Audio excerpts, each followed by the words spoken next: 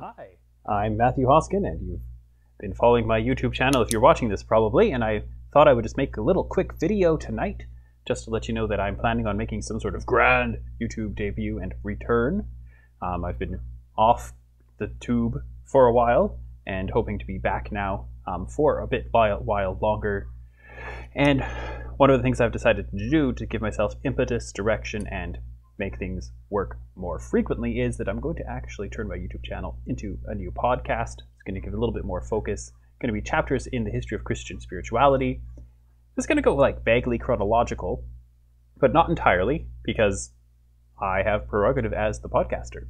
So that's a sort of thing to come up with. So my YouTube channel will turn into both these solo videos of me as well as ongoing uh, sporadic podcasting with my brother as we try to get that one sorted out as well. Don't worry, Devotion to Christ isn't gone forever. We hope to be back to regular podcasting soon. So, but before I get going with that new idea, with the chapters in the history of Christian spirituality, I actually want to talk to you about St. Augustine of Hippo. Why? Why St. Augustine of Hippo?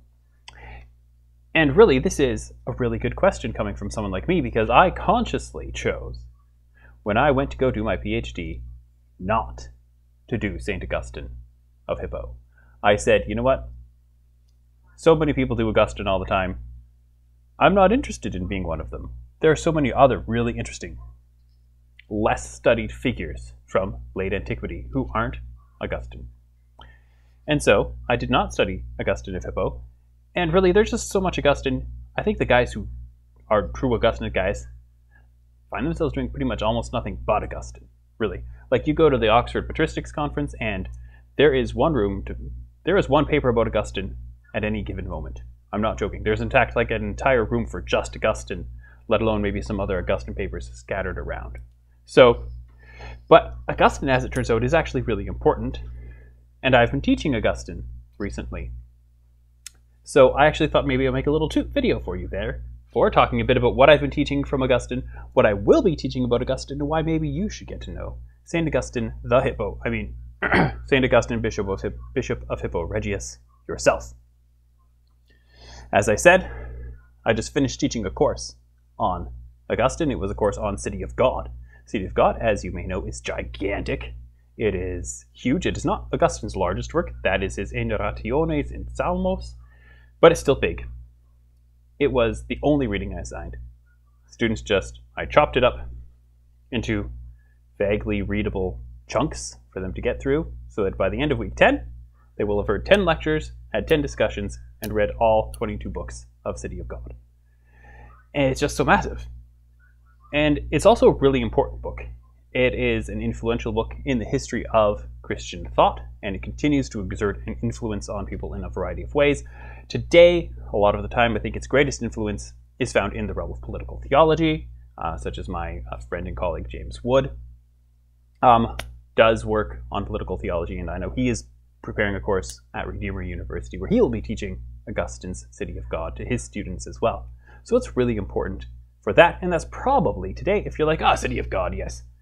Probably mostly you're going to hear about it in terms of political theology. Maybe, just maybe, you might hear about it in terms of just war theory as well, which sort of ties into political theology. And that's sort of part of this whole narrative that some people like to sort of promote and tout about that after Constantine, everything went terrible. Before Constantine, Christians were a bunch of like, I don't know, hippies, who, pacifists who sort of ran around living in accordance with nature and not killing people and stuff like that. And then after Constantine, everything turned around. They became a bunch of bloodthirsty killers. And so it was up to the tainted, horrible Bishop of Hippo to come up with a theology to justify the terrible situation.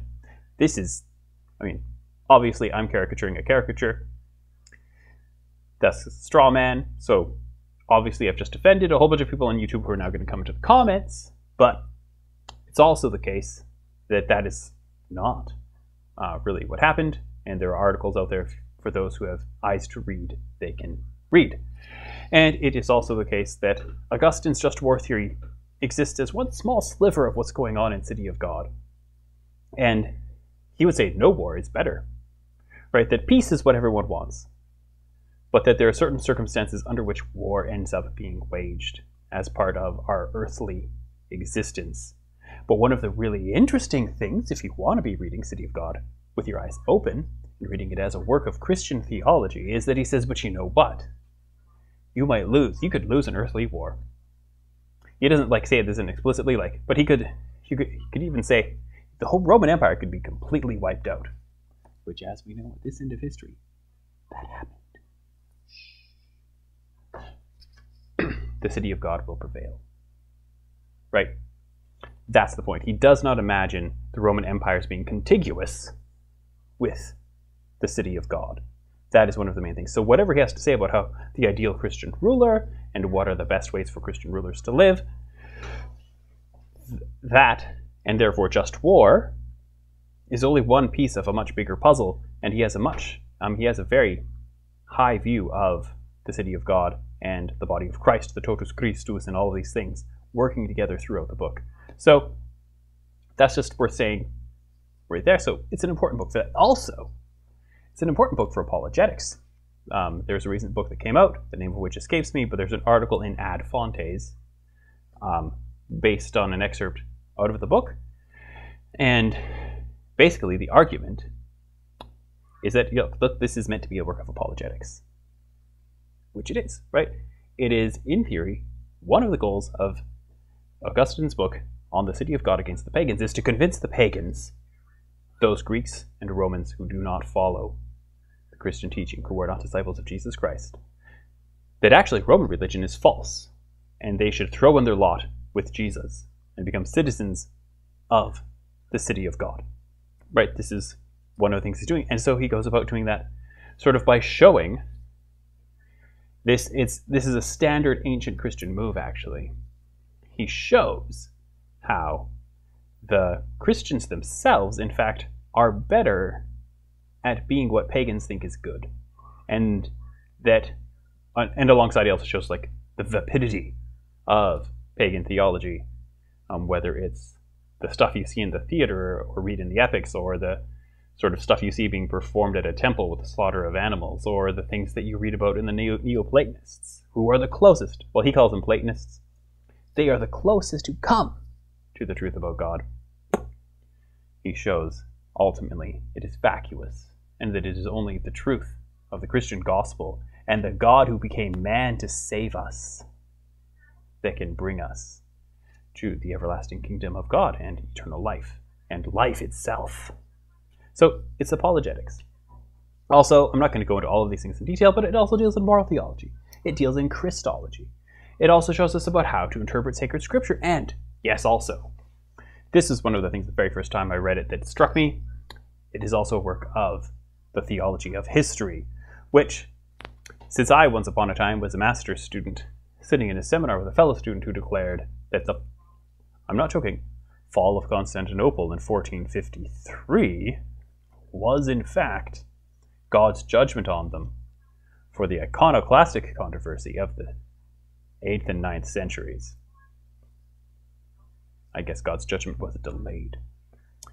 Well, Augustine is here to tell you you can't actually do that.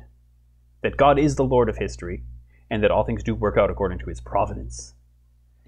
And they everything works together for the good of God's great and glorious plan for the universe, that Melkor's discordant notes in the music of creation will not prevail, and that only the true song of Iluvatar.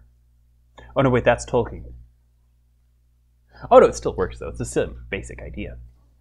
Um, and so, when you look at history, though, there's not actually this one-to-one. Good things happen to good people, and bad things happen to bad people. It doesn't happen. If you're a pagan, bad things happen to pagans. Bad things happen to devout pagans. If you're a Christian, bad things happen to good Christians. They bad things happen to good Christians. Like it's just good and bad do not actually have this sort of transactional thing. The secret is not true. Bad things happen to quote good people.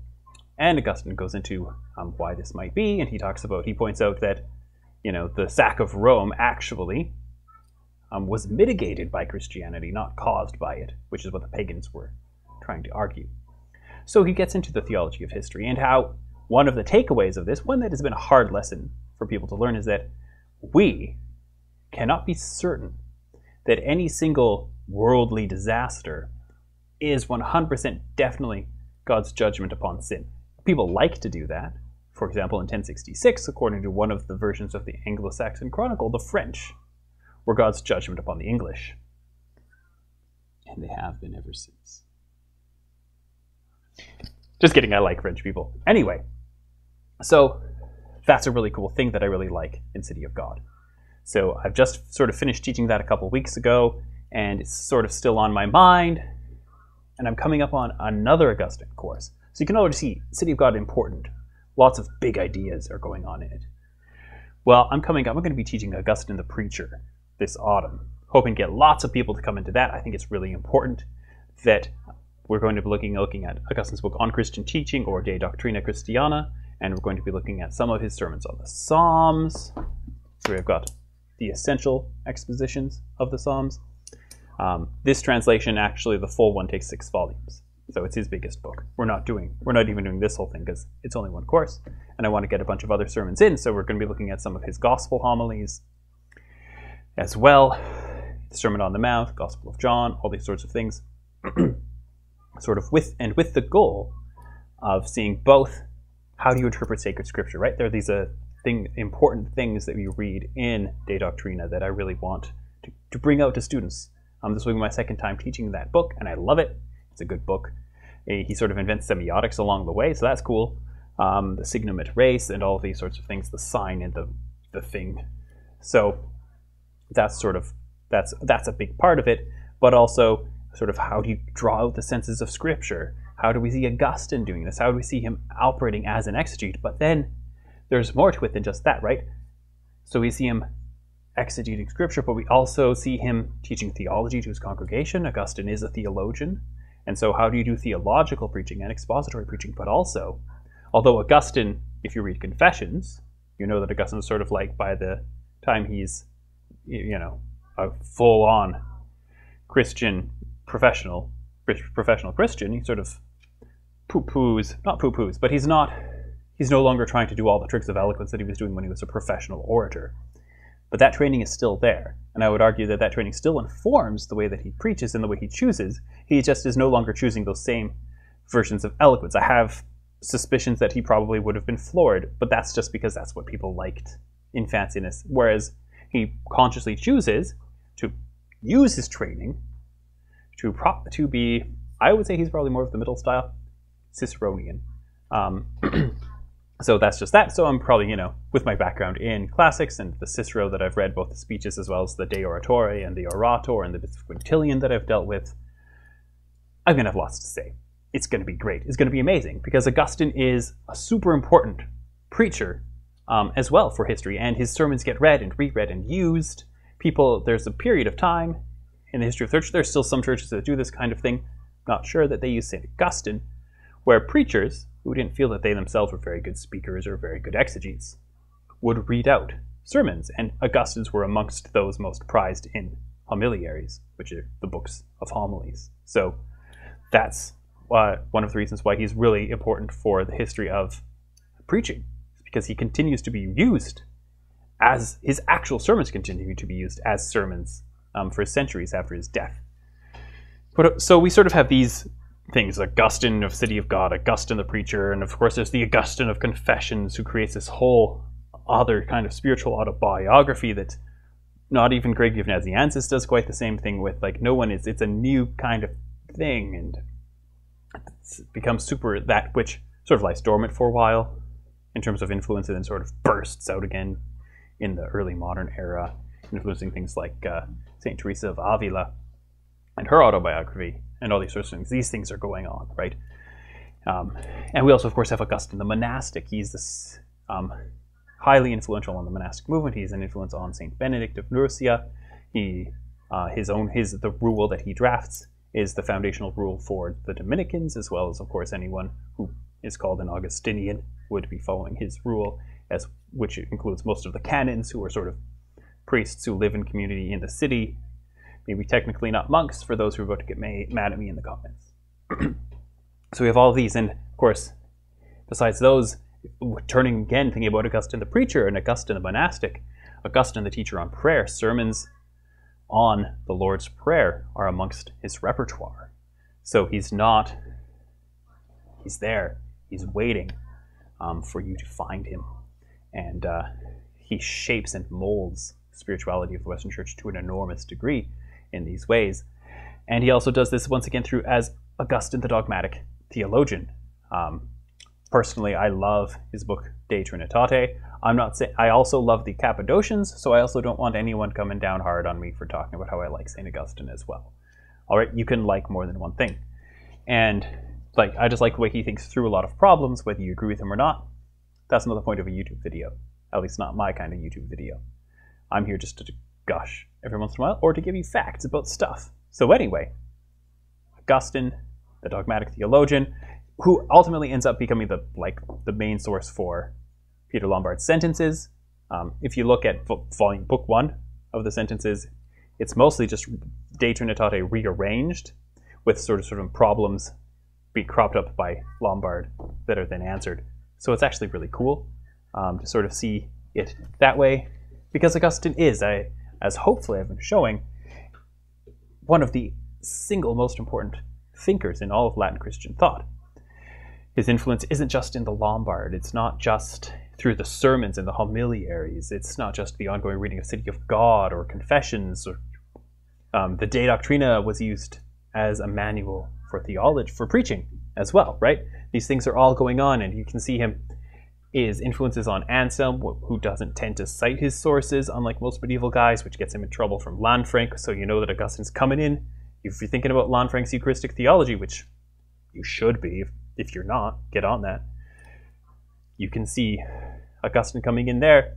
Um, Robert Grosseteste does a lot of citations of Augustine as well, which actually, as it turns out, strangely enough, if you read the letters of Grosseteste, in particular, um, his quotations of Augustine seem actually not to have been come directly from Grosseteste's own reading of the sainted Bishop of Hippo, but in fact from Gratian's Decretum. So there, once again, another place, canon law, right? That's the primary main book as a textbook as well as source for canon law in the Western Latin Church from the mid 1100s onwards. And so here he's cropping up a 13th century with um, test, As well, of course, if anyone knows the history of the Reformation and early Protestant thought, Luther, Calvin, Augustinian, as well as, of course, the Catholic response is itself Augustine, people like Bellarmine and others. And so these are all things going on, and the Book of Common Prayer is a richly Augustinian text. So if you think about chapters in the history of Christian spirituality, Augustine is huge. Um, so he's worth investing your time in. So if you missed out on City of God this fall, you could join me for Augustine the Preacher. And I do actually hope to continue teaching at least one St. Augustine course every year for the rest of my life. So, but really do take take Augustine the Preacher. You'll learn a lot and it'll be lots of fun. Thanks for tuning in. See you again next time.